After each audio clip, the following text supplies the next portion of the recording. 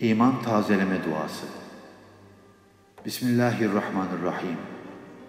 Ben Allah'a, O'nun meleklerine, O'nun kitaplarına, O'nun peygamberlerine iman ettim. Ahiret gününe, öldükten sonra dirilmeye iman ettim. Kadere, hayır ve şerrin Allah'tan olduğuna iman ettim.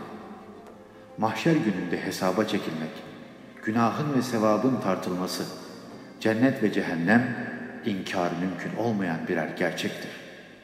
Şüphesiz Allah sayı olarak değil fakat eşi ve benzeri olmaması yönüyle birdir. O doğurmamış ve doğmamıştır. Onun hiçbir dengi yoktur.